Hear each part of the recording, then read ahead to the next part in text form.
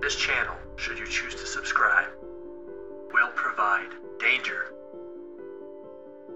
drama, love, lust,